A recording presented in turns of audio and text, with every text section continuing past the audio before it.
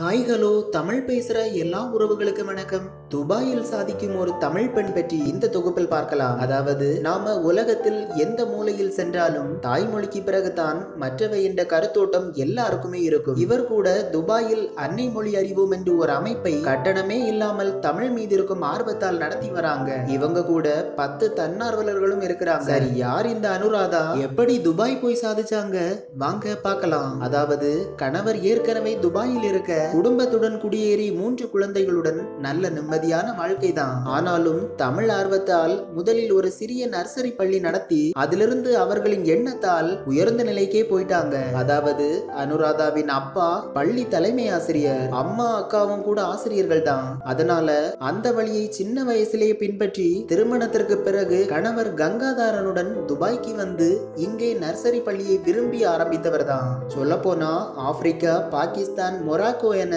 பல நாட்டு குழந்தைகள் படிக்கிறாங்க. வீட்டிலேயே மூன்று குழந்தைகள் பள்ளியில் அவ்வளவு குழந்தைகள் என குழந்தைகளுடனே வாழ்க்கையை அழகாக்கும் இவருக்கு தமிழ் மீது அதிக ஆர்வம். அது மட்டுமல்ல இவருக்கு சர்வதேச அங்கீகாரம் கூட கிடைத்திருக்கிறது. அதாவது இவங்களோட கடையை பார்த்தால் எந்த ஒரு குளிர்பானங்களோ சிகரெட் போன்றவையோ இங்கு கிடையாது. அப்புறம் எப்படி சிறந்த இந்திய கடை என்கிற ஆர்டிக் விருதுக்கு தேர்வு செய்யப்பட்டாங்க என்றால் சிறுதானிய உணவின் மகத்துவத்தை தானிய வகைகள் ஒரு பக்கம் மறுபக்கம் நாதஸ்வர இசை ஒலிக்கும். தமிழக விவசாயிகளிடமிருந்து நேரடியாக தானியங்களை கொள்முதல் செய்து மண்பானை இருப்பு சட்டி தஞ்சாவூர் பொம்மை தாயக்கட்டை பல்லாங்குழி என்று தமிழக வீடுகளில் அரிதாகி போன எல்லாமே இங்கு வாங்கலாம். இங்கு இருக்கும் தென்னிந்தியர்கள் கூட வல்லாரை கீரை தூதுவளை கீரை போன்ற மூலிகை கீரை வகைகளை கூட இந்த கடையிலிருந்து வாங்குறாங்க. ஆனால் அனுராதா திருச்சி விவசாயிகளிடமிருந்து நேரடியாக ஏற்றுமதி பண்றாங்க. தேடல் தொடங்குகிற போது வெற்றிக்கான புதிய பாதையை திறக்கும் என்று வெற்றி கதையுடன் அனுராதா சொல்வது கணவர் கை நிறைய சம்பாதித்தாலும் துபாயில் தமிழ் கடைகள் சிறிய அளவில் இருப்பதால் செயற்கை உணவுப் பொருட்களை கடையில் அனுமதிக்காமல் இரண்டாயிரத்தி பதினெட்டு தமிழ் வருட